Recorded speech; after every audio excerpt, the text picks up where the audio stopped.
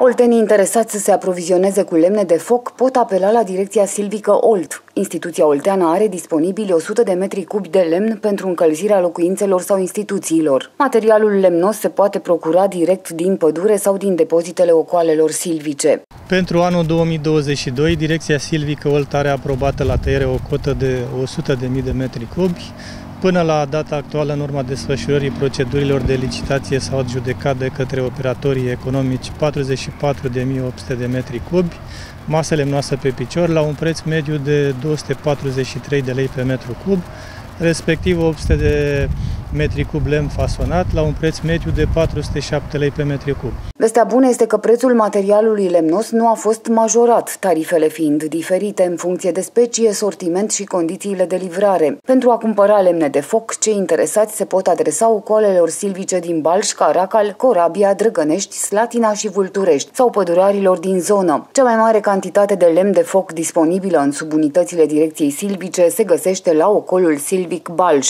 În ceea ce privește lemnul de foc pentru populație, prețurile nu au fost majorate față de anul trecut.